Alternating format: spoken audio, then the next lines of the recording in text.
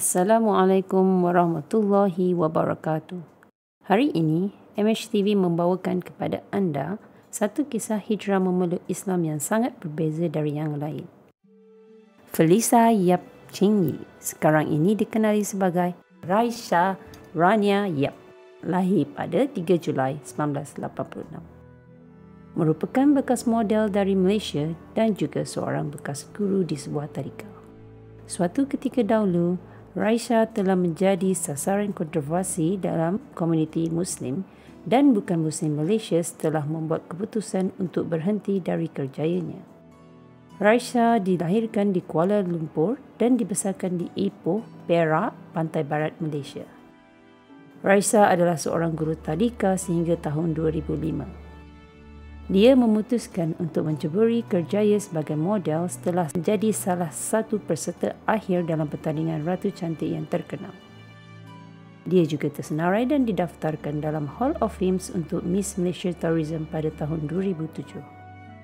Dia juga mendapat first runner-up dalam pertandingan Miss Chinese World 2006 dan juga mewakili Malaysia dalam Sukan Olimpik Beijing 2008 kategori Ratu Cantik Olimpik.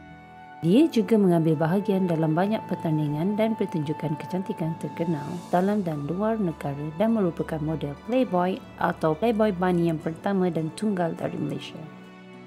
Ketika berada di puncak kejayaannya, beberapa tahun selepas itu keadaan Rasha berubah. Pada Disember 2013, dia mula memakai hijab. Pada mulanya, dia memakai hijab untuk beberapa kali sahaja. Orang ramai menganggap perkara itu hanya fashion kerana Rasha adalah seorang model. Namun, selepas kerap mengenakan hijab, orang ramai mula mengerti bahawa itu bukan sekadar fashion. Rasha menghabiskan masa selama tujuh bulan untuk mendalami agama Islam termasuk mengenakan hijab sebelum memeluk Islam.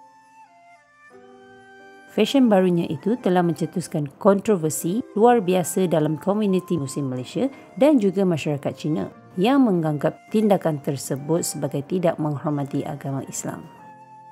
Namun, Rasha menjelaskan di dalam blognya, saya lebih bernilai dari hanya mempamerkan tubuh badan saya. Saya lebih baik dari ini. Saya tidak merasa bangga ketika terkenal menjadi model dan anak-anak muda menjadikan saya sebagai idola mereka. Saya tidak menyokong perkara itu lagi. Saya berharap semua orang doakan saya istiqamah dan berjaya dalam perjalanan hidup baru saya. Tambahnya lagi, hanya Allah sahaja yang dapat membalas jasa dan doa kalian ke atas kehidupan baru saya. Saya tidak selesa dan saya meminta semua orang tidak bertanya mengenai kehidupan lama saya lagi. Saya telah meninggalkannya dan saya berharap anda semua menghormati keputusan saya. Pada Disember 2013, Raisha memberitahu umum di halaman Facebooknya seramai 800,000 pengikut yang dia akan memeluk Islam tidak lama lagi. Saya akan memeluk Islam secara rasminya pada hari lahir saya. Saya ingin merasakan bahawa saya seakan-akan dilahirkan semula pada hari tersebut.